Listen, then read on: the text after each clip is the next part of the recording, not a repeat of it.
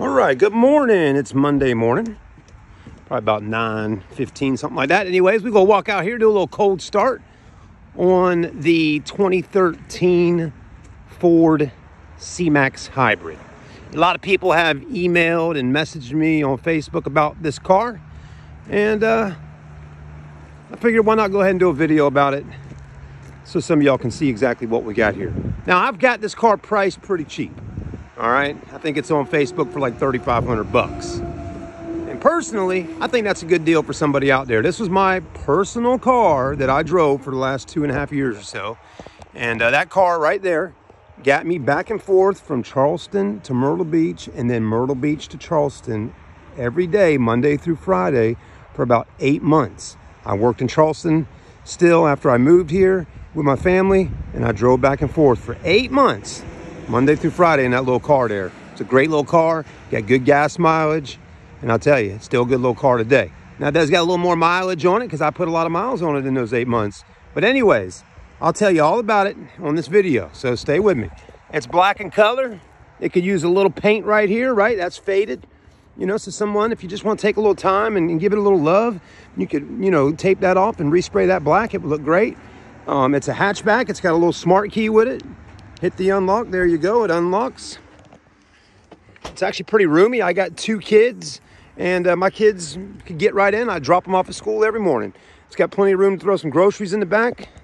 The mats probably can use cleaned up but uh, there you go. If you're wondering where the actual hybrid batteries batteries are at they're under here somewhere okay? They're under there. But i mean it's in good shape. I mean still got plastics on it. That's where i bought the car where i used to work at in charleston I mean, it's just a nice clean car. But yeah, the batteries are under here. That's where they're at. I think there's like four batteries right up under there. Back seats fold down if you need more room. I do not have the little cover for it. I do not have it. I never had it when I bought the car. So it is what it is on that. You can order one online if you want. Um, it's an SEL package, which is a little more loaded up. It's got leather interior, um, alloy wheels. Tires are in good shape. I mean, you got plenty of tread on the tires because I put those tires on there about a year ago. So you got good tires all the way around on the car. AC blows ice cold in this car. You don't have to worry about the air conditioning. Um, there's a door panel. Seats are in good shape. There's no rips in them. There's no tears in them or anything like that. Look at those seats. Nice, clean leather seats okay? Another thing I like about it is it's got rear air in the back if you got kids or friends or if you're doing Ubering. I used to Uber in this car too. It was a great car to do Ubering in. Um, and you got right there 110 volt outlet right there. Somebody can plug their phone in if they need to charge it up. Um, up front here, there you go. There's a dash. Nice little cockpit to sit up there and drive the car in, okay? There you go. So the back's got plenty of leg room, plenty of headroom up top. Here's the front of the car. You know, cars, for some reason, headlights get a little faded on them over the years. And probably put a little toothpaste on there and shine them up. Anyways, but kind of a cute little car. Front end's good though.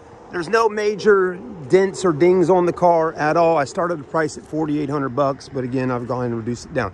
A dog did run out on me on Highway 17 one night when I was driving home and it hit the car right there, okay? Right there. So it did crack that, that bumper right there on that spot, okay? That's the only damage on the car is that little spot right there, which, you know, wasn't that big of a deal to me. I just drove the car to get good gas mileage. I mean, I like a nice clean car, but again, that one little spot right there from where a dog hit it, I don't know if the dog passed away or not. I hope it didn't, but uh, me driving 60 mile an hour or 70 going down Highway 17, I can't imagine the dog living after that. But um, other than that, driver's side, passenger side of the car looks good, okay? Again, there's the front tires. Plenty of tread on them, okay? Good. Um, brakes got done on it, I don't know, maybe about six, seven months ago. I had to have a, get a I had to get a new ABS module put in the car. That was like five or six hundred bucks to do that. So I did put some money into the car fixing that. The ABS module went bad. Um, and when they did the ABS module, they said I needed brakes and rotors and all. So I went ahead and did that too. So we're good to go. Now any car on the parking lot, may have a little bit of surface corrosion or rust on the on the rotors from sitting out here, you know, with it uh, getting wet and all that kind of thing. But once you drive it, that'll come right off. Okay, but you got plenty of tire tread on the front. All the tires are good all the way around. Okay. Let's get in. Now, a hybrid car, a lot of people, it seems like, at least around out this part here in Long, South Carolina, where I'm working at, they don't really seem to be too familiar with hybrid cars. And they think something's, you know, they're bad cars or something, but that's that's not true at all. If you go to the city, lots of people drive hybrids and electrics. Um, now, this car runs off of gas and it runs off of, off of electric, okay? It doesn't plug in. There's the mileage on her right there, one, 167, 648. Okay, there's the mileage. When you when you get in the car, put your foot on the brake, hit the start stop button. She's alive, okay? You will not hear the engine crank up or anything like that right off the get-go because it is a hybrid. But after if you sit here for a few minutes, the engine will kick in and start running um, and all that, okay? AC does work. See, I cut the AC on, the engine pops on, okay? AC does blow nice and cold. All the vents work. Everything moves properly. It's all good. Also got heated seats in here, which are really nice to use.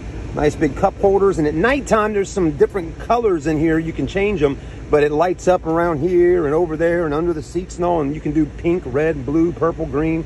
You got a little storage in there. You got two USB ports down in there and a SD card slot and a 12 volt in there as well. Okay. So, I mean, that's all your little, you know, uh, features on the inside. Um, it does have entertainment.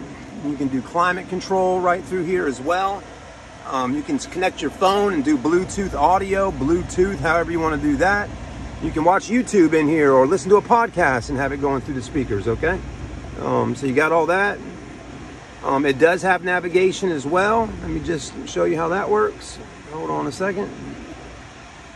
It says insert nav CD SD card, but it will connect to the um, it will connect to the navigation if you if you do it. I just got to figure out. I haven't done it in a while. I don't really use the navigation in the car too much because you know I rather do it with the phone. This right here shows you how the uh, electric stuff works on the car. Again, I'm not no expert on hybrid cars, but I don't believe the batteries are bad on it. They're pretty good batteries still. You know, I was telling somebody else on the phone the other day ago, you know, if you need to replace the batteries in a hybrid car, the prices have gone down. I mean, I think you can get, you know, batteries and everything for around 1500 bucks and you have many more years to go out of your car. And this shows you though how it, you know, what it's doing when it's running. See engine on, acceleration normal. I'm just kind of touching the gas pedal right now a little bit. But anyways, you can leave that on while driving if you want to see, you know, what it's doing. Um, glove box is right there. You got books and manuals, all that stuff. Okay. There you go. Only other little thing in the car that needs a little fixing is this little thing hangs a little low right here. See what I'm talking about? The little clip broke right there and it dropped down a little bit. Okay. It does have sunglass holders and you can change interior lighting colors right up in there. Okay. Um, you do got mirrors with lights in them and you got handles on all window sills. You got microphones here, more lights there, more lights there. Home link here. Okay. So you got all that stuff. All right, let's go ahead and crank the car up and we'll drive it around a little bit. I think I had it cranked up, but I'm just making sure. There we go. Okay.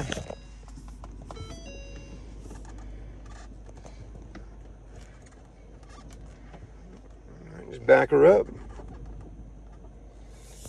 Now, for some reason, when the ABS module got fixed on the car, um, when I got the car back, the check engine light was still on right there. Can you see that? The check engine light was on. And it says that the oil change is due which probably is due. So the car probably needs an oil change on it right now. And I don't know why the check engine light's still on. The mechanic at the shop that did the ABS module told me to, uh, he said, he said, Chad, just bring the car back by here and I'll cut the light off. One of my technicians forgot to do it. And uh, I said, well, dude, I don't live in, uh, I don't live in Charleston anymore. That's going to be a pain in my butt, man. Why didn't y'all cut it off, you know? And uh, anyways, I lived in Myrtle Beach. So I have not drove back down to Charleston to get the light cut off but that's what he told me. He said that's why the light's on because they didn't cut it off. When the ABS module went bad, um, check engine light came on. I don't know why, but they didn't reset the system. Um, could be for something else. I do not know, but the car drives out just fine. Um, that other little light that's on right there is for the tire pressure monitoring system, okay? So, you know, I'm not fixing anything on the car at all. I'm selling the car just like it is. So whoever wants to buy it can buy it just like it is, okay? But I'm gonna drive it down the road so you can see that it drives.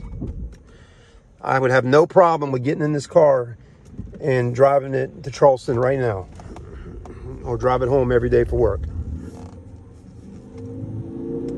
Drives just fine. It's been a great little car. Plenty of acceleration too. I actually thought about keeping it and possibly just giving it to my daughter next year when she turns 15.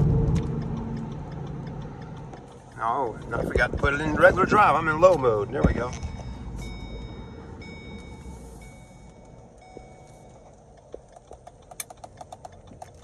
Oh, and the other little thing with it, it needs a blinker bulb on the right side on the front. So the blinker is blinking a little funky. I'm even going to put a little gas in it right now. All right. So that's part one to the video. Stay with me. We'll do part two here in just a moment. Go ahead and cut her off. Okay, here we go. Actually, while we're sitting here, no need to do another part two. Let's just finish this up. You got two screens right there. Okay. You can go through the system here and look at everything. You know, somebody mentioned about driving the car, you know, 30 minutes, 45 minutes away to a shop today to get checked out. I don't really think anybody should really do that or do it. If you do it, take it somewhere close to the dealership here where I work at. Because, I mean, I got other people looking at the car.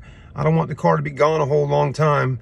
And again, I mean, for around 3000 bucks, I mean, geez, I mean, it's not like the car is going to break down and give you a problem immediately today or anything. I mean, any car you buy at any car lot could have some issues, but for that kind of money, I mean, just buy it and, you know, if something goes wrong later down the road, then fix it. But, I mean, there's nothing really technically, you know, all that bad with this little car right now. I know, you know, for a lot of people, it maybe scares them because the check engine light's on.